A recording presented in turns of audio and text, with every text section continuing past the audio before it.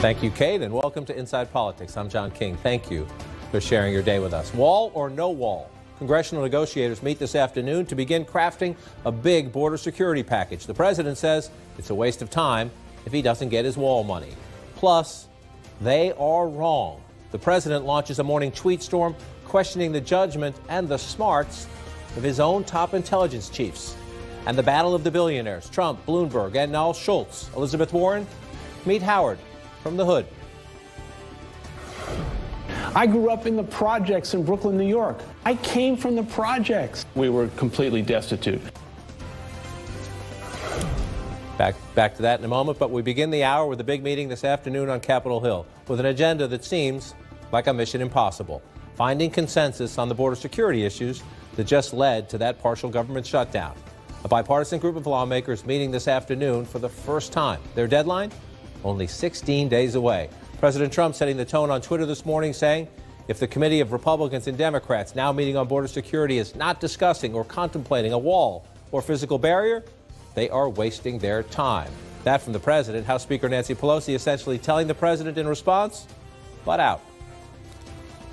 I think the conference can reach a, a, a, good result, left to its own devices without an interference from uh, anybody else. I, I have confidence in the appropriators. Doesn't stay out.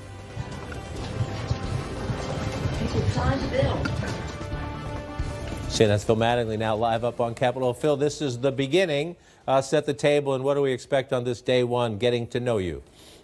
A real live public conference meeting, and I'm like, very excited about that, which says probably more about me than anything else.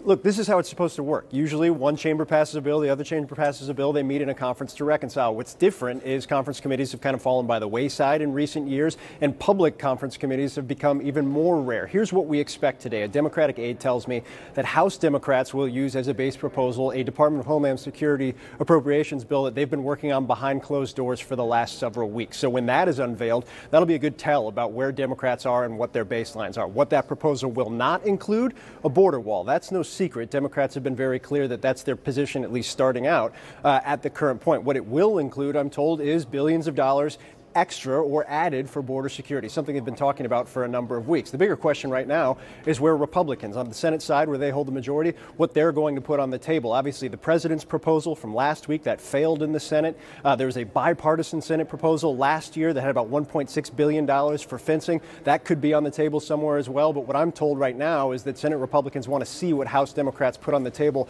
before they start moving forward. That said, as the president made clear in his tweet this morning, the baseline and the main point of contention still remains a border wall. Now, appropriators, John, as you know better than anybody, are well known deal makers, deal makers that could figure out a way to, to kind of finagle the language to give fencing or bollard wall or anything of those natures. I think the big question right now is twofold. One, can they accept that? Can anybody accept a compromise language given their baselines? And two, what Speaker Pelosi was talking about earlier, can the leaders stay out of this? It's not just Democrats who have asked the president to stay out of this negotiation. I've talked to a lot of Republicans who will say the same thing. We'll have to wait and see whether or not that happens, and we'll have to wait and see what kind of progress they make today in that first meeting, John. Phil Mattingly is excited about a public conference committee. I'm, I'm, I'm with you, Phil. Let's make this, let's see what we get here. With me in studio to share the reporting and their inside CNN's Abby Phillip, Carl Hulse with the New York Times, Matt Viser with the Washington Post, and Politico's Eliana Johnson. Uh, let me start with you since you cover the White House. Uh, Speaker Pelosi says the president should stay out of it. Um, doesn't that morning tweet tell you that he's already not staying out of it? I think he is already reading the tea leaves about where this is heading. I mean, the, the real question about President Trump is uh, will he allow this conference to go forward? And then at the end of the process, what will he do? I mean, right. he has had a habit recently of uh, allowing lawmakers to do what they do, and then at the very last second, uh, pulling back his support from something that they think have, has the votes to pass and creating a lot of chaos in the process. We don't really know what lesson the president learned from this uh, basically failed shutdown of 35 days. Uh, it seems that he uh, he internalized some of the criticism from the right. Uh, he seemed to brush back Ann Coulter, uh, saying that that perhaps she's mad because he didn't return her call. But it's not clear whether he's decided that he can move forward without their endorsement, or if he does believe that Ann Coulter is fundamentally correct, which is that if he doesn't get his border wall, he could be risking his reelection in 2020. Only time will tell how he finally comes down on that decision decision, and it could be at the very, very last second. And it could go back and forth over the course of the 16 days. We don't know what this is going to look like at the end. There are some proposals. Some people say, let's keep it small. Let's just deal with border security. Keep it there. Don't make it complicated. Uh, the Treasury Secretary, apparently listening to Senator Lindsey Graham, says maybe we should add the debt ceiling to this. You know, more quicksand. Let's add quicksand to quicksand and let everybody go in the room and debate that. Uh, but Carl, you spent a long time on this issue. You, uh, when they used to have committees like this, yeah. when this is how government actually used to work. Um, we do know this: the president's not getting a piece of paper that says, "Here is 5.7 billion dollars for you to spend as you wish on your wall." Yeah. That's just not going to happen. I think that's true. There won't be a big diagram of the wall on right. the uh. final conference report. I think the thing you have to remember is the pain on Capitol Hill was bad in the shutdown, really bad. No one wants to go through this again. When Mitch McConnell says yesterday, I'll do whatever it takes not to go through that again. And I think the secret that people don't realize is the appropriations process has been the thing that's been working during the Trump administration with Republicans and Democrats, but they've kind of ganged up on the administration in writing these bills.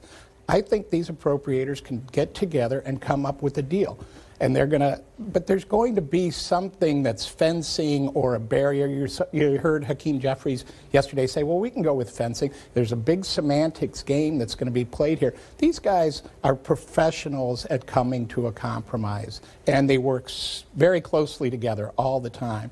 I think they can do it. I think but not only does Donald Trump probably need to keep some distance, Nancy Pelosi might want to keep some distance too for a while because to the Republicans, she's polarizing. Yesterday, they're, they're raising, well, will she even uh, go along with the conference report? Well, yeah, of course, if they come out with some kind of deal that there's an agreement on. But I agree with both you and Phil. Good to have conference committees back. People haven't really even seen how they work. Yeah, America is groaning at us. But, but, but look, these, these are elected representatives from around the country. One of the reasons we have partisan gridlock is we have an evenly divided country. So put them in a room, and the, most of it's transparent as we can see. Here's one member here. This is Chuck Fleischmann, Republican of Tennessee, who says, you know what, to Carl's point, put us in a room, we can figure this out, and guess what? We might have to spend a little more. I don't think we're miles apart. I think there's a lot of common ground. I think there's a lot of very strong passions in the room. Is it still going to cost $5.7 billion? Well, ultimately, probably more than if we go down that path. Bear this in mind whether we call it a wall, a barrier, a deterrent, that is only one aspect of the full border security situation. Which gets you to the question so it looks like they're going to, okay, here's several billion dollars, maybe in excess of the $5.7 billion, uh, with some specifics, ports of entry, uh, drug you know, screening, uh, other new technologies, and barriers fencing, the language worded in a way that everybody can say, I win. Is that enough for the president? Or do we end up having a national emergency or some other executive action to say, never mind, I'm going to find my money over here and build a wall?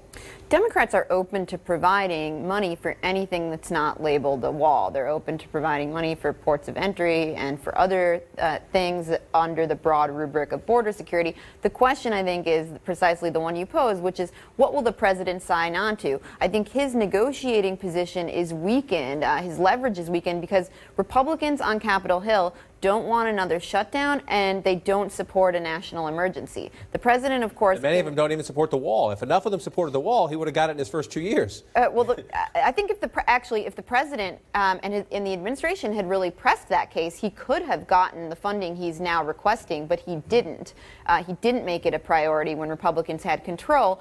But I do think that his leverage is now weakened because Republicans uh, don't want either of those things. And for that reason, I think Republican leverage in these negotiations are weakened because they're not willing to uh, go to an extreme if they if Democrats don't give them what they want. They're not willing to shut down the government again, and they don't support the president declaring a national emergency, which makes the negotiations a bit trickier on the Republican side. I, I think Democrats too uh, want to do something so they're not branded as the party against any type of border security. So they have a chance here to propose something that is not a wall, but that does enhance the border, which I think voters generally are, are, are supportive of. Uh, the other thing in the conference committee that's interesting is they're throwing in all of these extra sort of things to negotiate over, partly because so far it's been wall or no wall. So I think the thinking is that if you talk about some other aspects, then maybe you can start to make a deal. Uh, whereas before, it's been just an intractable position for both sides. A little dessert in with the broccoli and the peas, I guess is one way to put it. And you raised this point earlier. The question at the end is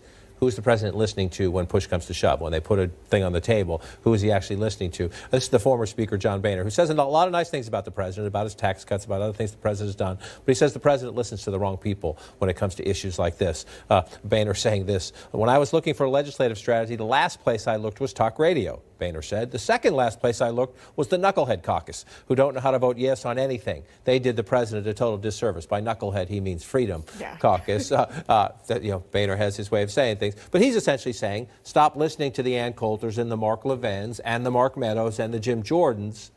Will the president do that? It's really, really not clear, John. I mean, the president has an enormous amount of power over the Republican Party he has a lot of support among Republicans. They follow him where he leads them. When he says, we need a border wall. Republicans, the polling shows that Republicans move in his direction. But at the same time, he has never really been willing to buck that you know, 25, 30% of the party, perhaps represented by the talk radio hosts and others, uh, in order to push the Republican Party in a direction that will allow him to govern. It's just not clear to me that he's there yet. I think he has come out of this shutdown really irritated by the coverage of what happened there, not willing to uh, to acknowledge defeat, even though he did sort of do that on Friday in his speech in the Rose Garden. He spent the weekend trying to say that he didn't give in when he, in fact, did. Mm-hmm. So I think at the end of the day, uh, you know, the president it could it could be kind of like a boomerang. He could come right back uh, to where he was at the beginning of the shutdown and say wall or no deal, and then we could be uh, with a shutdown government again in a few days. Even in the age of Trump, where many rules have changed, if you say for a month I will not reopen the government without my wall money, and then you reopen the government without your wall money, um, you lost. That's pretty simple. All right, we'll watch this when the curtain raises today, 16 days, the deadline. Up next, President Trump pushing back against his own intelligence officials. But first, a little flashback as we wait for this year's State of the Union. One year ago today, the president's first official State of the Union. Tonight, I call upon all of us to set aside our differences, to seek out common ground, and to summon the unity we need to deliver for the people this is really the key. These are the people we were elected to serve. This is CNN Breaking News. President Trump today launching a remarkable series of attacks on his own top intelligence officials, chastising them for being soft on Iran, among other things. In a series of morning tweets, he calls them, quote, extremely passive and naive about Iran, saying that the United States needs to be careful and suggesting, get this, perhaps intelligence should go back to school. The president is responding to yesterday's testimony on Capitol Hill on foreign threats, that, in which his own intelligence chiefs seem to contradict the president on nearly everything, from ISIS to North Korea and Russia. ISIS is intent on resurging and still commands thousands of fighters in Iraq and Syria. We currently assess that North Korea will seek to retain its WMD capabilities and is unlikely to completely give up its nuclear weapons and production capabilities. We assess that foreign actors will view the 2020 U.S. elections as an opportunity to advance their interests. President probably didn't like a lot of that, but more likely this response from his CIA director, Gina Haspel, that may have triggered the president's Iran reaction. She's asked here Is Tehran complying with the nuclear deal negotiated during the Obama years? They're making some preparations that would increase um, their ability to take a step back if they make that decision. So at the moment, technically, they're in compliance. Um, they are wrong. Maybe intelligence should go to school. Um, I was joking during the break, not really joking. Uh, it's one thing we shouldn't criticize anyone who works for you. It's tough, hard to be the boss, I mean, unless they deserve it. But to publicly lash out at the people who are dealing with life and death issues every single second of every single day is pretty remarkable. This is a little different, too. From, I mean, he's done this in the past, criticizing the intelligence agency. But in the most vociferous he was on that was around the Russian investigation, whether Russia meddled. This is a little different. This is just him not believing what they're saying because what they're saying goes against his worldview on, on Iran and North Korea. Um, and, and so it, it's a little bit of a, of a difference for him to speak out uh, this strongly Um, it, just because of a policy difference, it should probably be an internal thing, Yeah, and not to- publicly. and the timing. I mean, in, in most of the older stuff was at Clapper and Brennan and Obama era people who, or you know, maybe some of the new people who came. We're, we're two years in now. We're two years in. Those are Trump. That is a table of Trump appointees.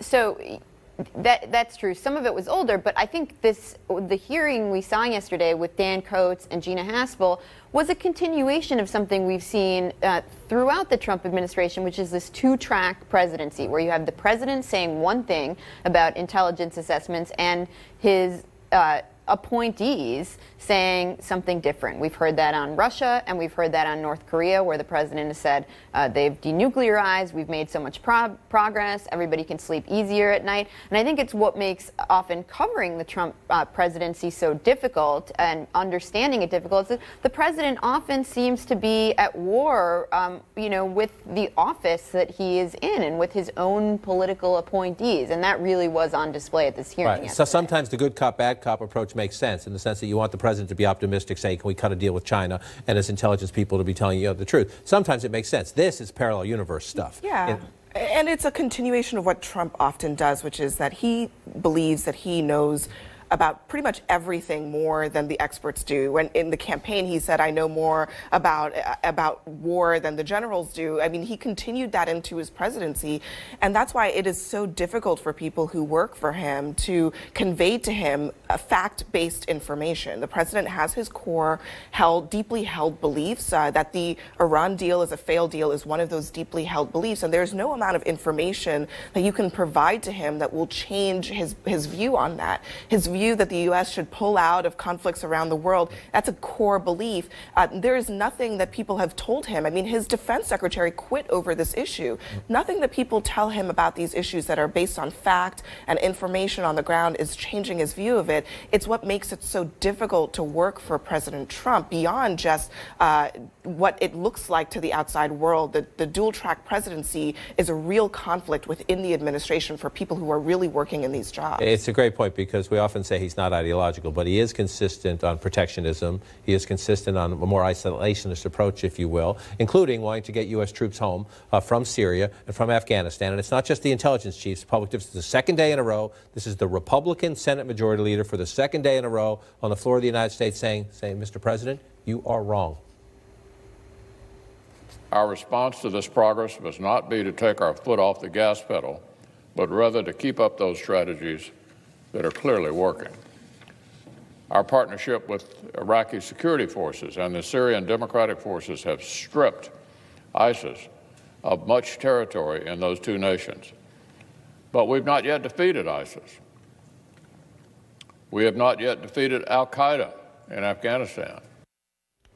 His view of Republican foreign policy is 180 degrees almost from the president, the Republican president of the United States, is it not? Yes, and he is he's sort of articulating what, what has been the standard Republican policy. You know, we need to engage. This is more uh, equal to the Bush administration. This is important that Mitch McConnell, who has been so closely allied with the president, not willing to cause uh, any trouble, two days in a row has gone out there and not only speaking, he has an amendment to a bill that is going to establish this as the U.S. policy. So if that bill were to make it to the president's desk, it might present him with a problem.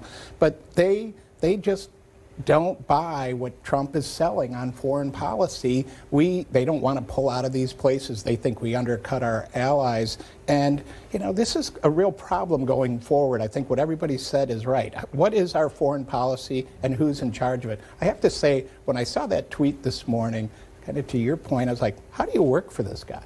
Right? When he's going to call you out in public as not being smart, when you're ahead of an agency that his entire job is to compile this information, and if it happens to conflict with the president, you know that's too bad. I think it's a tough, tough situation here. It's a, it's a tough place, and yeah, amen to them. For again, they have the most difficult job from the government. What they see is not pleasant stuff most of the time, but boss disagrees. Up next, stop me if you've heard this before. A billionaire wants to run for president. He says he's the only one who can fix Washington.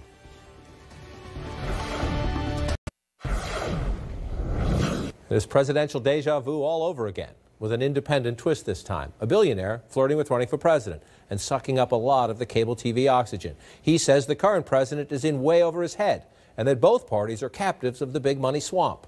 That was Donald Trump in 2015, when the former Democrat and independent decided to run for president as a Republican.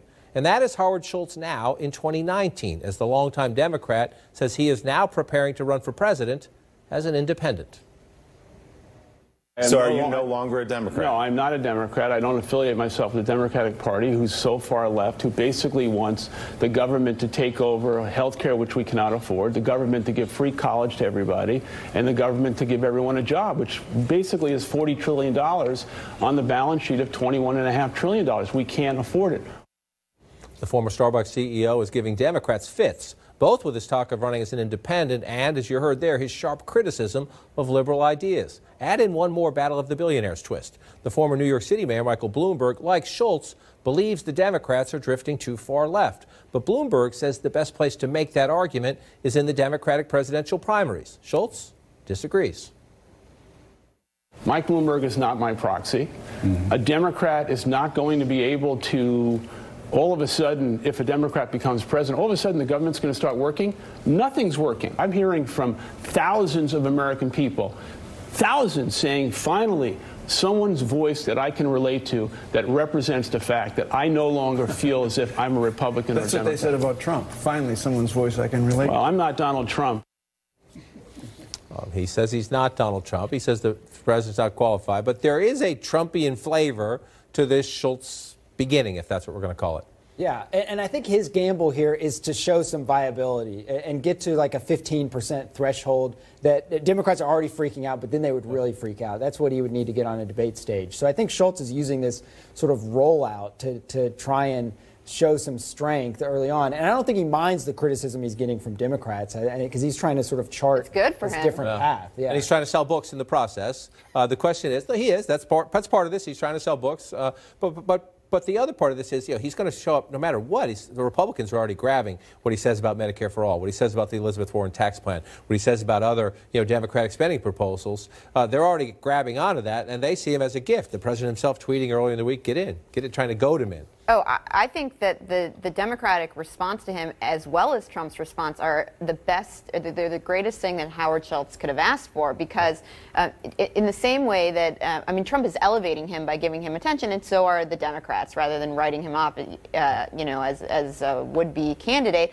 And I think Schultz poses a far greater threat to Democrats by running as an independent than he would running in the primary. And that's why you hear Democrats pushing him to run in the primary. He seems to be somebody who would pull them to the center, and that seems to be what they what they don't want. The comments about Medicare for all and all that, because he could be a real threat running as an independent. Somebody saying these guys are way too far to the left. Uh, what you need is somebody like me, an independent, and um, he could really be a threat if he stays out of that primary, um, but is is still to the left of Trump. And timing is everything in politics. It's an old cliche. It happens to be true. Uh, this rollout by Schultz coming as Michael Bloomberg planned his first big trip to New Hampshire. Bloomberg's not happy about this. He thought about running as independent. He says you can't win. But he also is running a campaign which has a lot of the same themes as Howard Schultz. Free college tuition would be a nice thing to do. But it is just totally impractical to replace the entire private system uh, where companies provide health care for their employees would bankrupt us for a very long time. I think you could never afford that. You're talking about trillions of dollars. Number one, I think the Constitution lets you impose income taxes only, so it probably is unconstitutional. Number two, I don't know of any country that has done that. This is the week Michael Bloomberg wanted us to be talking about him as a potential Democratic candidate trying to pull the party back to the center. Instead, Howard Schultz has taken a lot of his oxygen. Yeah, I mean, not only that, but I mean, what what is so interesting about these two billionaires uh, trying to gain some national attention is that a lot of people are like, do we really need more billionaires? I mean, is this what the moment is really calling for? And it does strike me that in some ways, while they do share business as a common factor with Trump. What they don't share with Trump is actually what I think Democrats are trying to take from Trump, which is the idea that these things in politics that used to seem like third rails maybe are not. Maybe when you put something uh, out there for the American public that, that a lot of people told them they couldn't have, uh, that maybe they gravitate toward that. Trump ran in a really unconventional way. He ran on things that Republicans didn't want to touch with a 10 foot pole. And that's why you, I think you see a lot of Democrats finally talking about the things the Democrats, the establishment Democrats didn't want to talk about for a long time. Bloomberg and Schultz are trying to run very conventional campaigns after Trump proved that the unconventional might be the thing that works with the American But, but my question was, what about the billionaire thing? Because people slapped that on Trump. Even Republicans tried to slap that on Trump. He said, "What's wrong with getting rich in America?" In his case, everyone would say, "Well, you got a lot of money from your dad to get you started." Howard Schultz did grow up in the housing projects. Michael Bloomberg did start his own company. Uh, he didn't start as poor as Howard Schultz, but he did start his own company and made his millions. They say, "Isn't that what we're supposed to do in America?" But this is Elizabeth Warren. Billionaires like Howard Schultz and Michael Bloomberg want to keep a rigged system in place that benefits only them and their buddies, and they plan to spend gobs of cash to try and buy the presidency to keep it that way. Not on my watch. She's going after him there. This is Sherrod Brown, who's on a tour now, trying to decide, senator from Ohio, progressive, trying to decide if he should run for president. Pretty much the same point. When I think about a billionaire running as an independent, we tried we tried a billionaire in the last election, and the billionaire won. And look where look where we are. I want a, a, a choice between uh, Trump and a progressive Democrat. We're going to have that, uh, and I think it. We we've got to win the industrial Midwest, the heartland, the Great Lakes states, and the state you grew up, Chris, in, and the state that I represent, and and we change the country.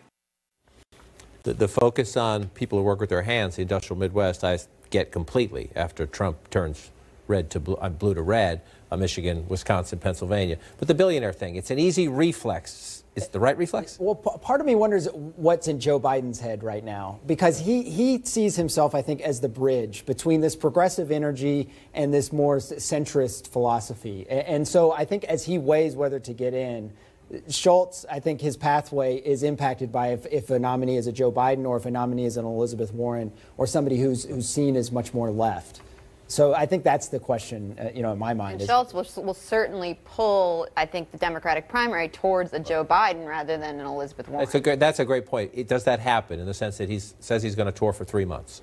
And he clearly, at least at the beginning, is getting attention. The question will be the impact as we go. It's a great, it's a good placeholder. We'll come back and check on that one. Up next for us here, a Republican governor scolds Congress while offering the secret to his success in his state. Republican. Thinking 2020 maybe?